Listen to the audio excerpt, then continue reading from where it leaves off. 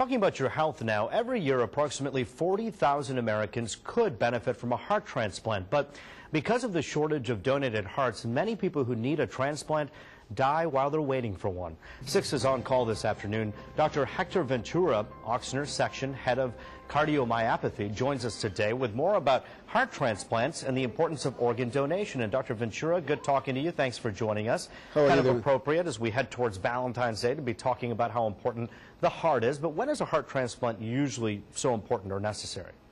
Well, especially in patients, uh, we call them heart failure. So it's a, uh, the, the, the, the heart doesn't work appropriately. After all the therapies that we have, when, the, when there is nothing else you can do, then a heart transplant is indicated. More likely for people that have multiple heart attacks or, or blockages in the heart. You know, it's so sad to think that there's someone right now who, of course, is in desperate need of a heart, and perhaps there's someone out there who could be able to help them out. So, how long is the wait for a heart transplant right now? Well, it depends. I mean, the, the, the problem is what you mentioned in the beginning. We have a lot of people waiting and not many donors.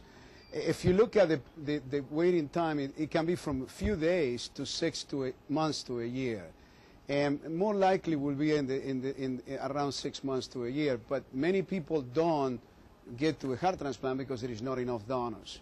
How successful are these transplants, generally speaking? Well, um, it, that is uh, that is the good thing. Uh, we had um, uh, the the average life expectancy. If you look average life expectancy today is around 10.2 years, and if you look at survival, for example, I mean at, at a year number one, it's around 90 percent.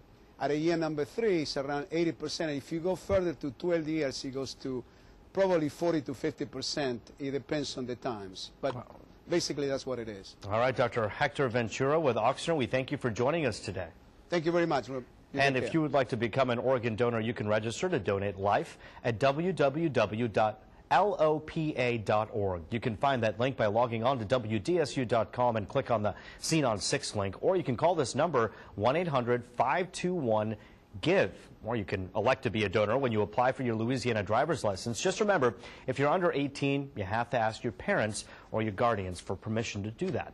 When we come back, today's top stories and another check on your Weather Plus forecast. Right now, you're watching us on television, but you can also watch us online on WDSU.com. A lot going on in the news today. A look at all of that in your ClickCast. That's coming up next.